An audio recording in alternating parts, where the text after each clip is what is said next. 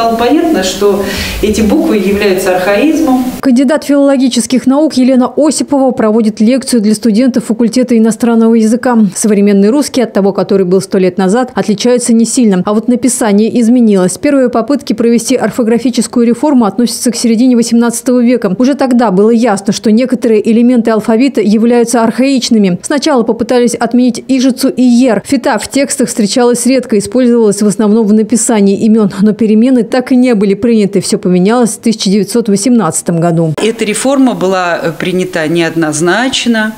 Э, многие в этом видели дурной вкус или снижение уровня языка, э, но так бывает часто, когда что-то новое, когда происходит реформа, и сначала это новое воспринимается неоднозначно. Но сейчас это написание нам кажется привычным и естественным. Ять, соответственно, стала в начертании как Е, и десятиричные как И, фита как Ф.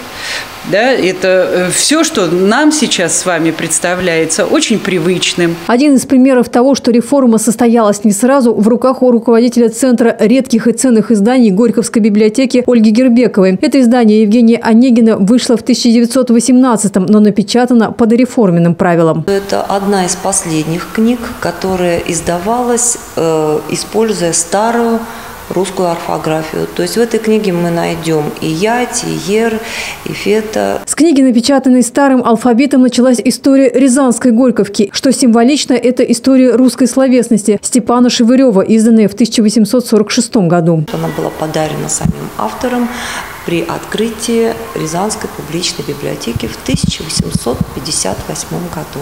То есть она такой ровесник?